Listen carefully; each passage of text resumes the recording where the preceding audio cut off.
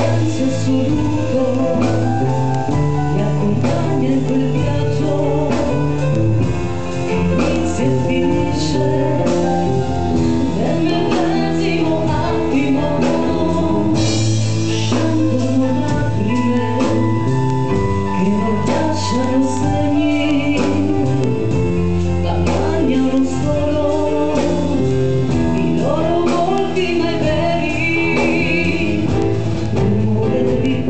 vazia.